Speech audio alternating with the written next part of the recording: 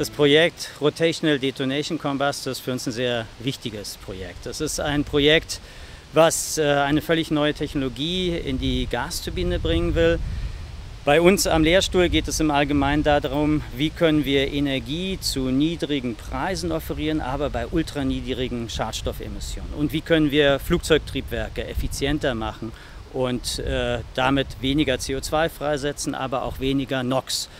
Und äh, dieses Projekt hat ein großes Potenzial in dieser Richtung, äh, tatsächlich äh, den Wirkungsgrad zu steigern und die Schadstoffemissionen zu senken.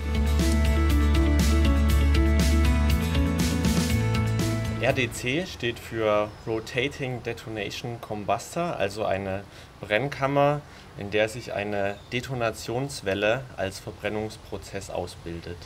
Und das ganze System besteht aus einem einfachen Zylinder, in dem ständig neues Brennstoff-Luftgemisch hinein injiziert wird und eine Detonationswelle so lange umläuft, wie neues Gemisch nachströmt.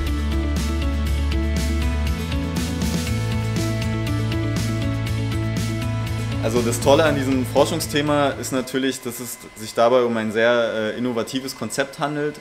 Das heißt, diese Nutzbarmachung von Detonationswellen in technischen Anlagen ist eigentlich eine sehr junge Wissenschaft. Ähm, man forscht daran eigentlich erst so seit zwei bis drei Jahrzehnten, was für ein technisches System eine sehr kurze Zeit ist. Ähm, es gibt noch sehr viele Herausforderungen, die da zu meistern sind. Und ähm, zum anderen ist es natürlich einfach sehr aufregend. Man also allein schon der Name, man, man beschäftigt sich mit Detonationswellen. Ähm, ist einfach für so einen Ingenieur ein, ein, tolles Thema, würde ich einfach sagen. Also das, äh, das klingt aufregend und, und ist es auch. Also man, man äh, arbeitet hier mit sehr energiereichen Systemen. Ähm, die, sind sehr, die haben sehr viel Energie, eben sehr viel Leistung, ähm, die man eben bändigen muss und kontrollieren können muss.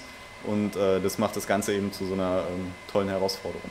Und das ist eben alles computerkontrolliert. Das heißt, ähm, wird, das, äh, wird der Schwellwert hier überschritten, ähm, werden sofort alle Systeme heruntergefahren, ähm, alle Gaszufuhr, die Gaszufuhr zum Gebäude wird äh, abgeschnitten und ähm, das System wieder in einen sicheren Zustand versetzt. I think it's been a really great opportunity to be as part of an international group like this. Um, you know, we were the first research group in uh, Germany to, to really look at rotating detonation combustion. Uh, and we've been able to learn a lot from our American counterparts through um, Professor Effie Gutmark. Uh, and then we've also really been able to interact with uh, a whole lot of other uh, researchers, both within Europe and in the US. Um, just last week, we had a meeting with people from, I think, seven different organizations within uh, Europe on how we can develop PGC. Uh, and how we can um, uh, develop the rotating detonation combustor uh, and apply for um, funding to be able to find new topics for about 15 different PhD students.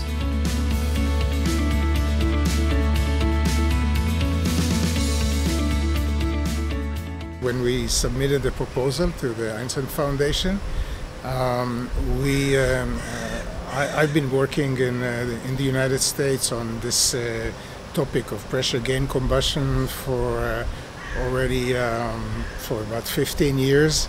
Uh, so we had a lot of experience with that. Uh, we had many projects. Uh, so when we, the opportunity came to um, uh, to write the proposal, uh, the idea was to bring this technology also to, to Berlin. It's a different um, environment, but here in, in Berlin we have this new laboratory that Uh, was built here, so uh, as a dedicated place to do the research, uh, and it's uh, uh, very convenient to do it this way. And all the support that we get here from the technical staff and from machine shop um, is, is makes research very um, very good and very efficient. Also der Klimawandel stellt uns ja äh, vor ganz besondere Herausforderungen, ähm, vor allem uns als Verbrennungsingenieure. Wir müssen Emissionen reduzieren und ähm, die Nutzbarmachung von Detonationswellen ähm, hat eben den großen Vorteil, dass man den Brennstoff effizienter nutzen kann. Das heißt, man braucht weniger Brennstoff, um die gleiche Leistung in, also wie in konventionellen Systemen äh, zu bekommen. Und daher kann man eben mit diesem Forschungsprojekt einen sehr großen Teil dazu beitragen, hoffentlich in Zukunft Brennstoff einzusparen und damit äh, Emissionen langfristig zu reduzieren.